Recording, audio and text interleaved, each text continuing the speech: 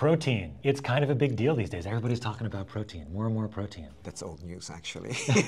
what we're going to do today is talk about you know, how much protein do you need on a daily basis, mm. really? Mm. Can it help with losing weight? Do you need more of it if you're a vegetarian? Mm. Can you get it all from legumes and mm. lentils and peas and those kinds of fun protein sources?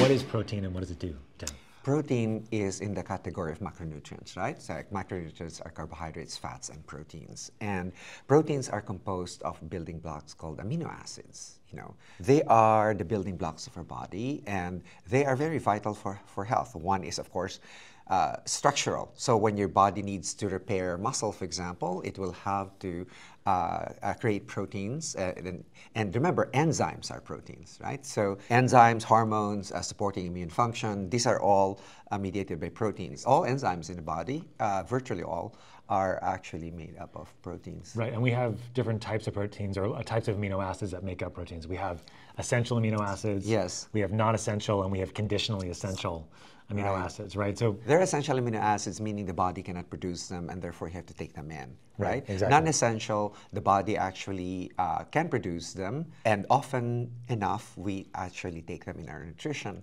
But there are also what's called conditionally essential amino acids, like uh, you know for particular diseases or for particular stages in growth right, of, a, of a child. You know there are some amino acids that become conditionally essential, and it's important to consider those because you know uh, uh, when people ask what proteins are, are, good for me, well, you know, if it's an adult, it's like, well, let's take a look. We can measure the amino acids now, right? Exactly. Yeah. What are some good sources of protein, Ted, mm-hmm. and what are some not so good sources? As far as this is a little controversial. Yeah. I know, but yeah. uh, not for us really. But so if you're uh, sedentary, your intake would be 0.8 uh, grams per kilo, right? And you could get that from food sources. For me, my go-to is always eat your red meat, man. At least once or twice a week, you have some steaks or something. So those are meat-based proteins, right? right meat-based. And, and, then the other one will be plant-based proteins, yeah. right? So I don't recommend legumes, you know. Uh, and the reason for that is that legumes, we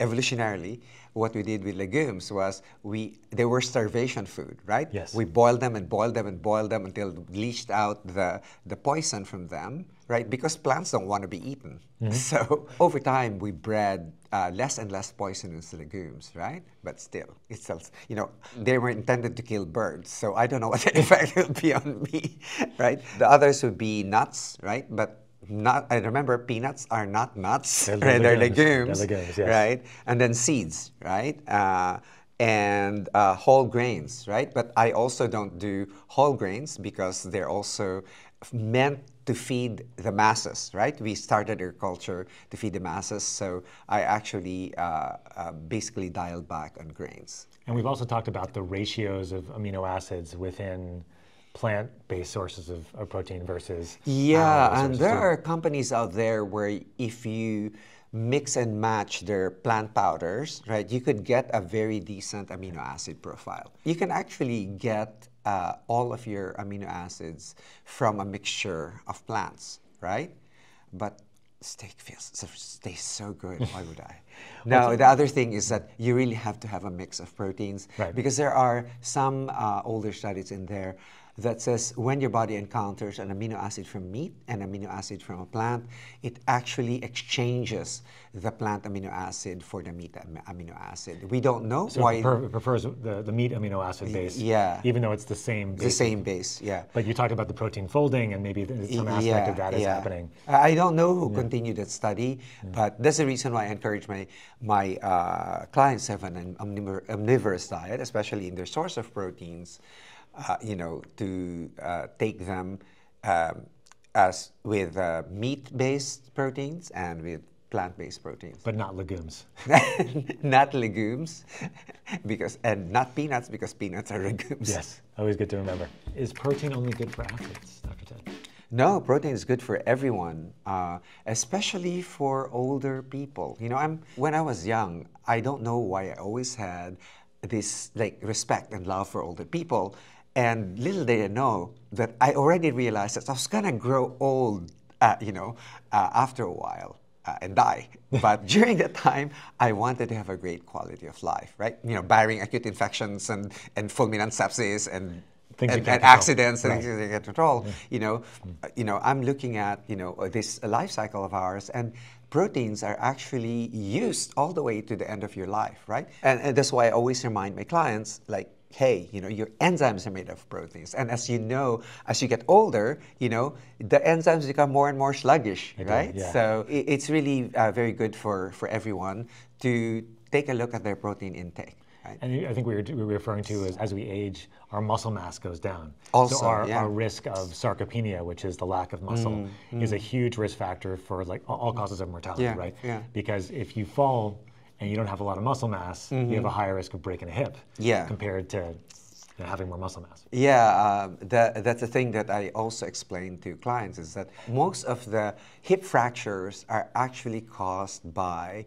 not by the fall itself, but failing to grasp, you know, that doesn't have any hand strength, right? Yeah. To, to grasp up something in order to fall gracefully. They just fall because they, their hands slip and then they break their Yeah, yeah, yeah. That's a good point. Yeah. Basically, protein's good for everybody, and it's a matter of how much protein depending on your needs. Yeah, um, you know, as I said earlier, the general guideline for sedentary people is like 0.8 grams per kilo, right? But this increase depending on your goals and your needs. So you, some may need 1.2 to 2 grams of uh, protein per day, some even higher. You know, I don't know what these Mr. Olympia people actually take for their da- uh, daily uh, protein.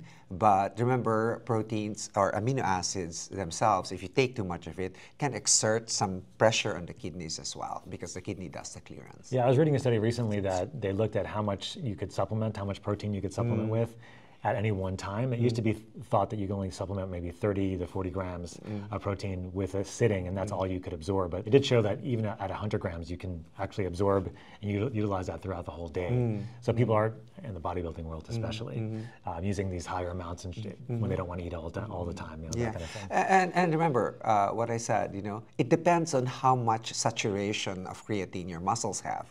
You know, if you're they're unsaturated, you will actually gobble up more creatine. If they are saturated, you probably not use any more of that creatine. So you know that depends on what you're doing, right? Uh, uh, what you're doing and what your goals are. A bodybuilding person will have uh, different requirements for creatine than uh, aerobic uh, gymnast, for Sure. example. And when we're talking about creatine here, you're talking about in the, in the context of what's in the meat itself. Yeah, Right. yeah. And, and the reserve in the muscles. Yeah. The energy production. yeah, The capacity yeah, of it. yeah. Okay. So because there there's a, uh, an interplay there because you know the conversion of creatine phosphate to uh, uh, to ATP, you know, by binding ATP, this is mediated by enzymes and they're made up of proteins. So you know, uh, that's why enzymes are, I, I always remind people that enzymes are proteins, right? Yes. Uh, hormones, some of them are proteins, like growth hormone, for example, is a protein. Um, you know, s- and so is the thyroid hormone. Uh, they're called peptidergic types, right? So, uh, and then, you know, people are always fascinated with the cholesterol-based hormones, which are the sex hormones, right? But, you know, we ignore the levels of, you know, growth hormone and thyroid hormones and How dare us. yeah, yeah, and insulin, How dare right? we. Uh, yeah. Yeah. Can you lose weight when we eat protein? it requires more uh, ATP to digest protein, right? It's Right. called the thermic effect of food. And if you utilize that, if you get on a high protein diet, for example, you may lose some weight, right? Essentially because it's harder for the body to digest it and to, to to make it- absorb, yeah, absorb it. it better, yeah. yeah, so one of the diets I actually recommend is a food separation diet, right? So you start with the most uh, fatty meal and then have a carby, high fiber carby meal, and then your last is some proteinaceous meal, right? Um, it's hard to sleep uh, after a high protein meal.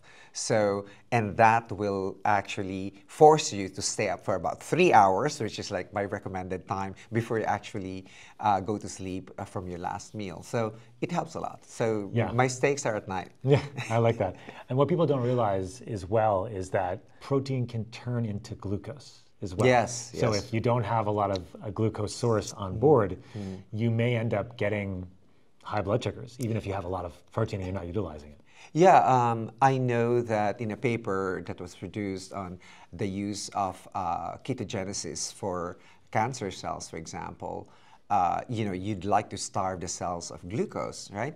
Uh, but the main culprit there is glutamine, which rapidly converts. So, in that study, they actually uh, decreased uh, the glutamine intake from food also, Right, right? So yeah. these low glutamine foods plus uh, a medical keto diet, which is different from a nutritional keto diet. It's very right? difficult to keep your glutamine levels yeah, low. Yeah, glutamine levels low because it's Yeah. used by the body. Right, there's over. glutamine blockers that they've used, but those are not very safe and No, not very no, well tolerated yeah, overall. yeah. But so in general, we have to remember that high protein diets, especially if you're not as active, Mm-hmm. you'll get a conversion of that protein into glucose because of glutamine specifically. Mm. Right, right. Yeah, good to know. Okay. Do you work with vegetarians?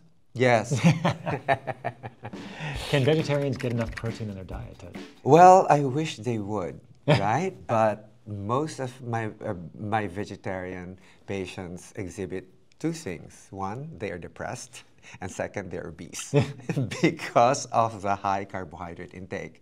Like breads, for example, are plant-based and all this. So, and you know, you encourage them to you know, take at least supplementation, etc. And like, oh, where does that uh, protein come from, and, and so on and so forth. It's it's very difficult. They are Right. actually one of my most difficult patients are vegetarians and vegans. Yeah, right? especially Right, vegans, yeah. right. Yeah. And I emphasize to them that vegetarian, I'm not against these diets. You know, in fact, my advice is actually go omnivore for two and a half months, and then go whatever you want your diet to be for two weeks. Right? Use it as a hormetic stress for your body, and then go omnivore again. Right? And I'm not restricting you from your diet. It's just like, hey, you know, evolutionarily we were not designed to be herbivores. Right? right, right. So- Yeah, we were using plants when we didn't have animals to yeah, basically. yeah. And what I think it's important you said there is that it's the hormetic stress. So that's why anybody that follows a very strict diet after being on like the standard American diet, Yeah. whether it be vegetarian, vegan, keto, Carnivore. paleo, carnivore, like they're going to feel better. Yeah. Because they're decreasing the stress on the system Yeah. in various ways, right? I mean, although with a vegetarian, maybe it's more like you said, it's more of a hormetic stress. Yeah, yeah. right, That's causing the system to recalibrate. Yeah, well, uh, you know, eating uh, protein or eating meats uh, uh, actually contributed to the explosion of the size of the brain, right? Right, right. So, when we learned how to cook it under fire, especially. yeah, right? yeah, yeah. And then we started burning our, our meats, and then you have your heterocyclic monoamines, and then you have your poisons. So- To the dose is the poison, right? So, yeah, the difference between a drug and a poison is the dose. Indeed, so indeed. it's the difference between good cooked meat and bad cooked meat is the time of cooking. thanks so much for tuning in to another episode of Don't Look Up, where we encourage you to look up. A space for real conversations about health, powered by your curiosity and founded in science. We'll see you next time.